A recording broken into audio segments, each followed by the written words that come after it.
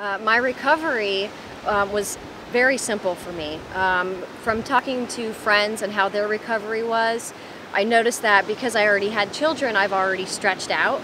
Um, so three days later, I was actually back to work. As far as lifting goes, I couldn't do that for a few weeks. Um, I had, of course, follow-up appointments with Dr. Engel, and um, he told me what I could do at that time, what I couldn't do. But um, the first 24 hours, I had to have somebody with me. Um, I actually had an episode where I stood up too fast and I started seeing stars and almost hit the ground. So it's very important to have someone with you for the first 24 hours, I'd say.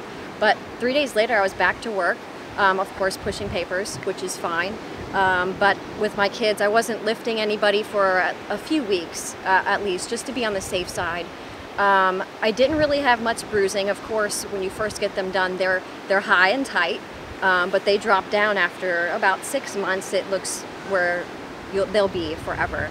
Um, I used like a Kelo-Cote on the scarring, um, so I have very minimal scarring. Um, and it, it gets hidden underneath your bra or your bathing suit top, so nobody sees that at all.